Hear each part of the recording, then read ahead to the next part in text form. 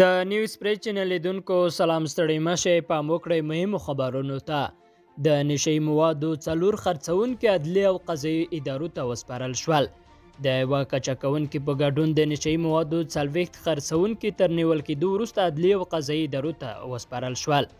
د افغانستان د کورنیو چارو وزارت له نشي موادو سره د مبارزې معینیت د رسنیو دفتر ازادۍ راډیو ته ویل له نشي موادو سره د مبارزې ځانګړو پولیسو د افغانستان په دویشت ولایتونو کې عملیات کړي چې په نتیجه کې د نشي موادو نه دیرش خرڅونکي نیول شوي دي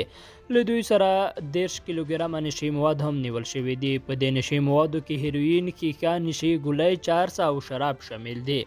په یو بل اقدام کې د ننګرهار پولیسو د نشي موادو یو داسې قاچاکونکی ونیو چې نږدې درې کیلوګرامه هیروین د وچې میوې په یوه لرګین کاپ کې پاتې ایښي او غوښتل یې له هېواده د باندې قاچا کړي بلخوا هرات کې نږدې څلور سوه لیتره شراب او نور نشي مواد ونیول شول په هرات ولایت کې نږدې څلور سوه لیتره شراب او نور نشي مواد ونیول شول د هرات ولایت له نشي موادو سره د مبارزې ځانګړو پولیسو په هرات ښار کې د استوګنې پر یوه کور عملیات وکړل چې په نتیجه کې د شرابو جوړولو لپاره چمتو شوي درې سوه اویا کیلوګرامه روسته شوي کشماش او لس لیتره شراب ونیول شول د هرات د امنیه قمندانۍ ویاند عبدالاحد ولیزاده ازادۍ راډیو ته وویل په دوهم ګام کې پولیسو یو بل نفر په هرات ښار کې له یولس کیلوګرامه چارسو سره ونیو د سړي غوښتل چې دا چارس د پرچون په بڼه پر متادینو باندې وپلوري ننګرهار کې له سلو جریبو ډیر ځمکې کوکنار وړول شول په ننګرهار ولایت کې تر سلو جریبو ډیر ځمکې د کوکنارو له بوټو څخه پاکې شوې د افغانستان په ګرمو ولایتونو کې د کوکنارو اړولو په لړ کې د ننګرهار پولیسو په خوږیاڼیو ولسوالۍ کې یو نوي جریبه په سپین غره ولسوالۍ کې نولس جریبه وروداتو ولسوالۍ کې شپږ جریبه ځمکه د کوکنارو له بوټو څخه پاکې کړی.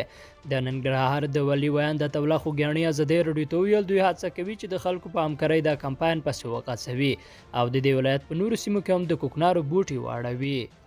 او پکتیا کې له یوه کوره تر نوي کیلوګرامه ډېر نشهيي مواد ونیول شول. د پکتیا ولایت د استوګنې په یوه کور کې تر نوي کیلوګرامه ډېر نشهيي مواد ونیول شول. د پکتیا د امنیې قومندانۍ ویاند لال محمد ازدی رډیو ته ویل له نشهیي موادو سره د مبارزې ځانګړو پولیسو د حمل میاشتې پر ولسمه نیټه د استوګنې پر یوه کور عملیات وکړل چې په نتیجه کې درې نوي کیلوګرامه چارس ونیول شول د دې نشهیي موادو د ساتلو په تور تر اوسه پورې څوک نه دي نیول شوي لیدونکو له ملتیا مننه ښې چاره